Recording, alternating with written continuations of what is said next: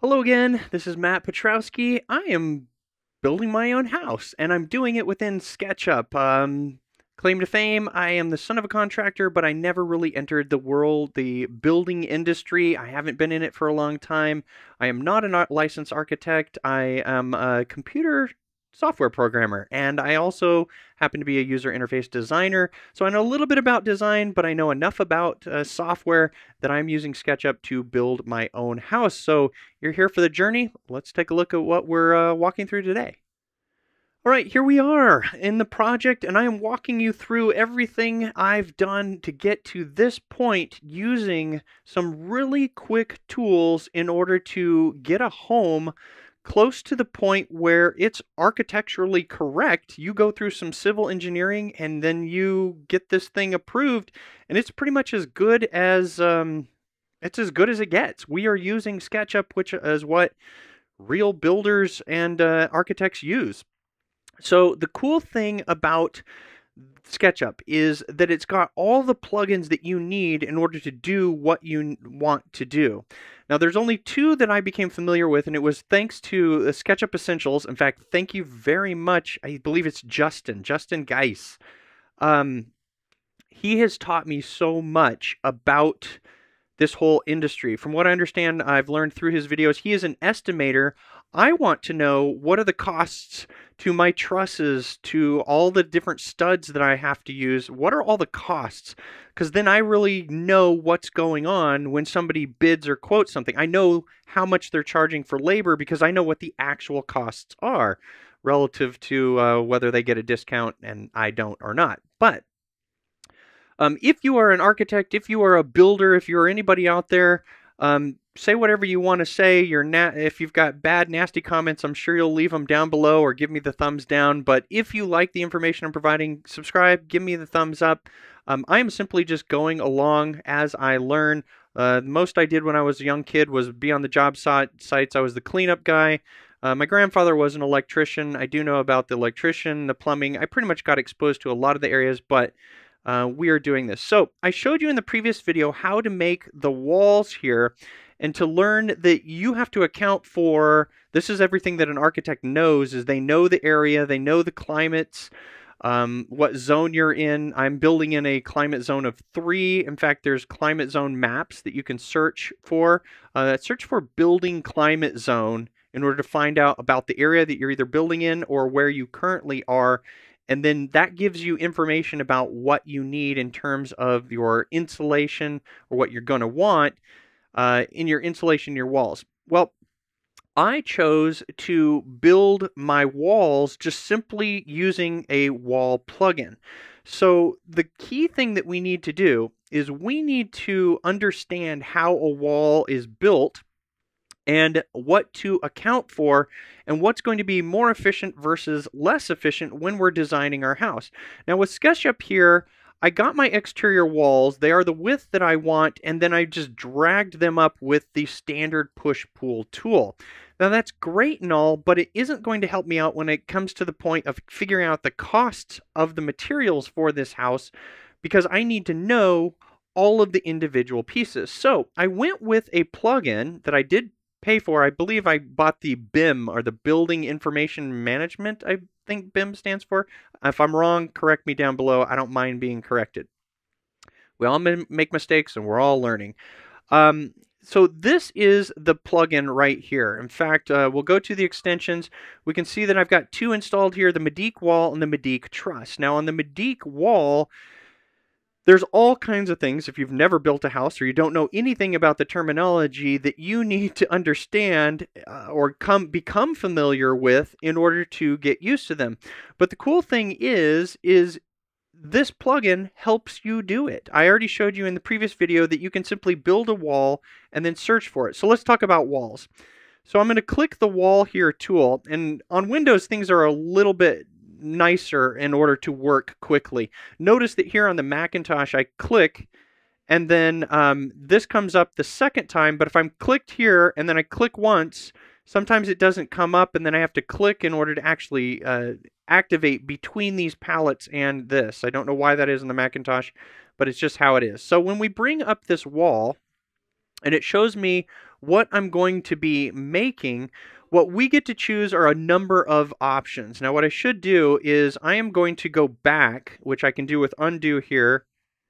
I got rid of all my labels, um, and we'll go back to the point where I don't have my walls. All right, so I undid all the way back to where I want to draw my walls on this floor plan that I have.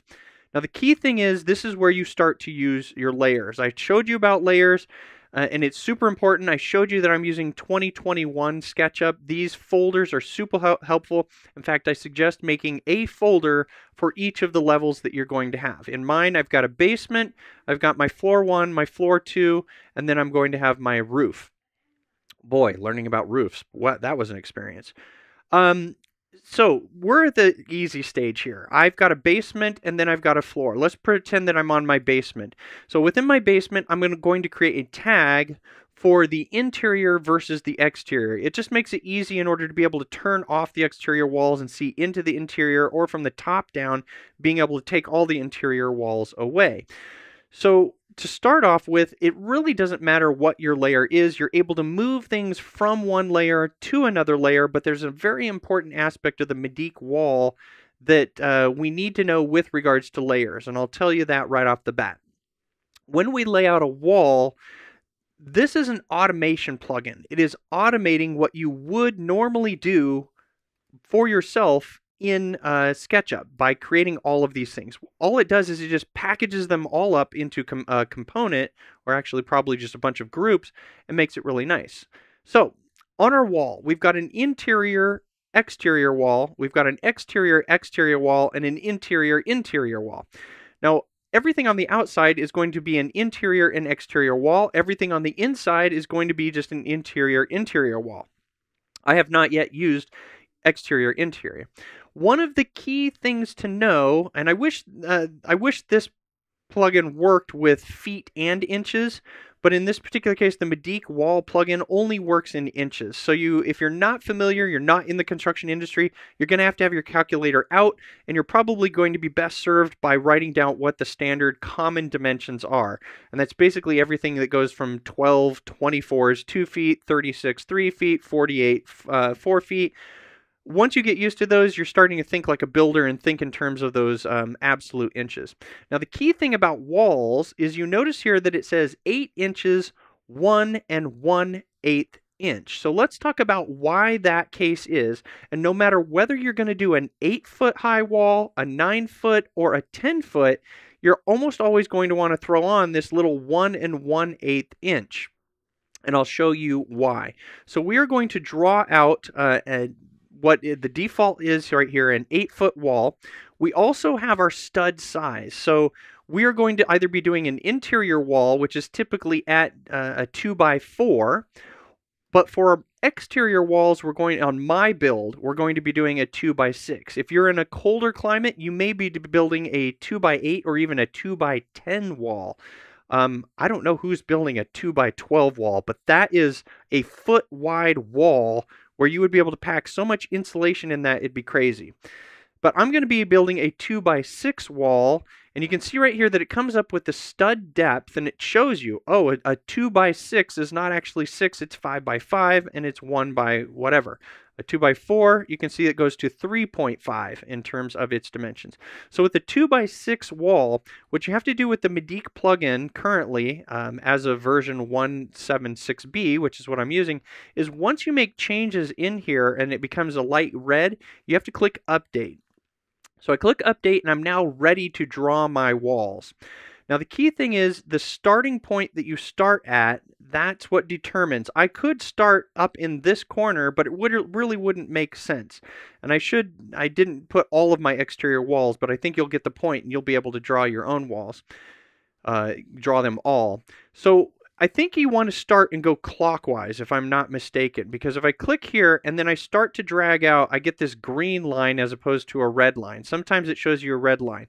But it's really cool that as you drag, you can see that you get that dimension right there. And of course, it's the axes or the axis that shows you I'm on one of the axis. Right there, I'm on the um, green axis.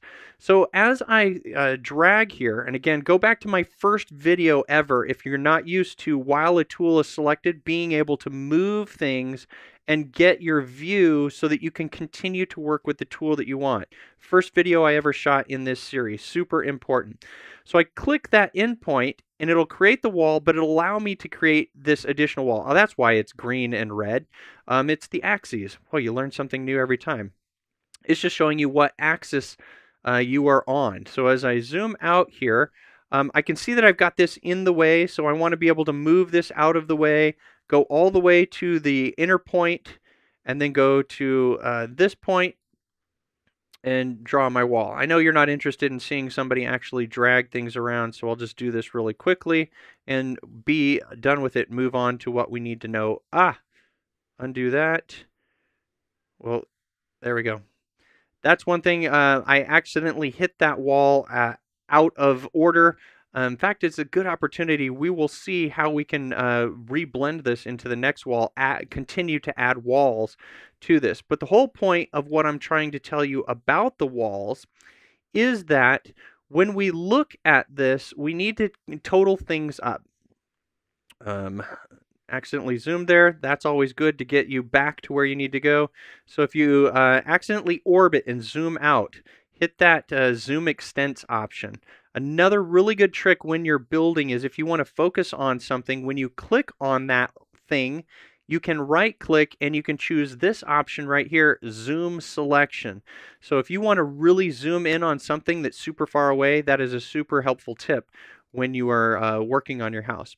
But the whole point of walls here as you can see the way that a wall works is you have the actual stud which has its own height but then you have this thing called the bottom plate and then you also have this thing called the top plate.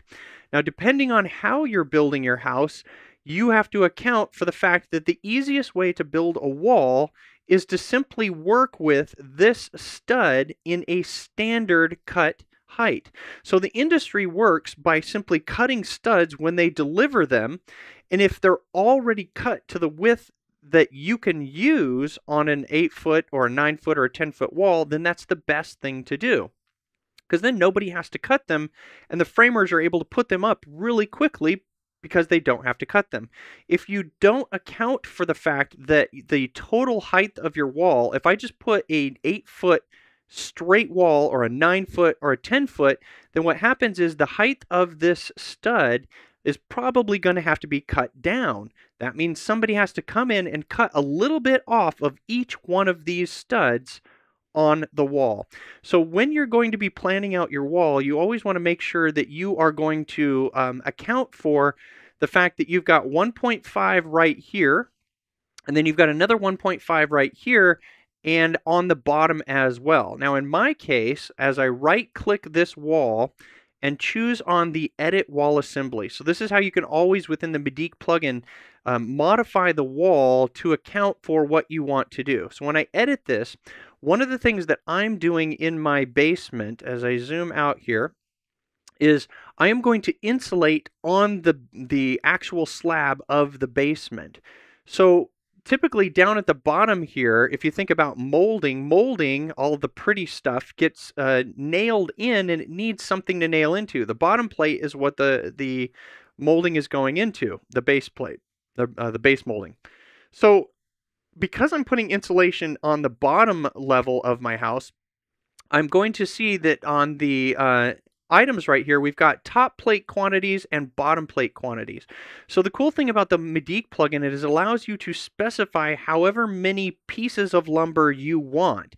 These are things that you have to figure out before you're going to make your walls.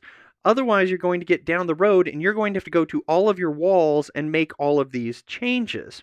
Of course, it's really not that big of a deal because with the Medeek plugin, you can just go in and just change the wall to whatever you want. If you need additional top plate, great. But then you're going to have to lift your second story up and your roof and everything. But the cool thing is in SketchUp, it's so easy to select all the stuff you need and then just move it all at one time. So you're always able to come in here and change values of what you want. So I'll change my bottom plate quantity, pretending this is my basement, click update, and you'll see that it adds the second one right there on the bottom. So now that we've got that on there, um, we're able to start to lay out all of the walls the way that we want in our uh, building. And really the only thing that we need to think about is once we start to move walls around, once we've got our design the way that we want it, we're pretty much going to need to move walls around and I'm going to cover that in the next video. We're going to go through um, the way that you use the Medeek plugin in order to move things because it becomes really easy to move things as opposed to what we have right here. Say for example, here let's see what the standard SketchUp method is. So on this, I'm going to use the standard push-pull and we're going to pull this up.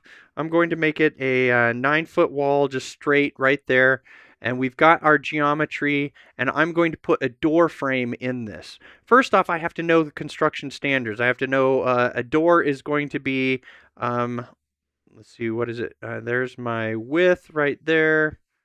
Yeah, that's the three. So let's just make this a uh, three foot door by uh, seven foot.